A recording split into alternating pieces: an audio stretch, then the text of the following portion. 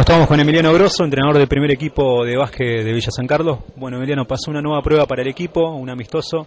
Eh, ¿Cómo lo viste a tus dirigidos? Bueno, buenas noches. Eh, bien, estuvo bueno. la idea era jugar contra otras otras caras que no sean las nuestras, ¿no? La del, propio equipo, para generar confianza, para trabajar algunas cositas nuevas que vamos metiendo, para conocernos, sobre todo eh, a mí, ¿sí? en mi nuevo rol y, entre ellos. Y sirvió, sirvió. La idea era eh, jugar, jugar, eh, plantear algunas ideas nuevas y, por momentos se vieron, por momentos no, están también ansiosos, hace mucho tiempo que no juegan por el torneo oficial que arranca la semana que viene y eso, viste, por momentos juegan contra. Jugamos con Meridiano, con Meridiano de local que ya jugamos, sí, eh, que acá de local perdimos, ganamos y allá perdimos.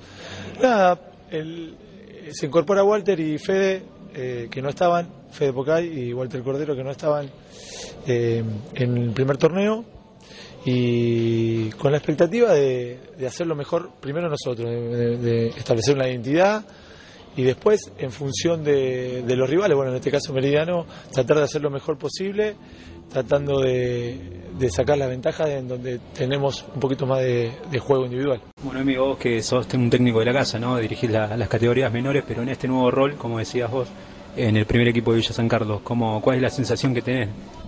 Son sensaciones, se me cruzan miles por la cabeza, ahora el miércoles, hasta que llegue el miércoles que arrancamos el torneo, no, se, no llega más parece que estamos hace un mes, pero hace dos semanas, esta es la segunda semana, es poco tiempo para un montón de cosas nuevas.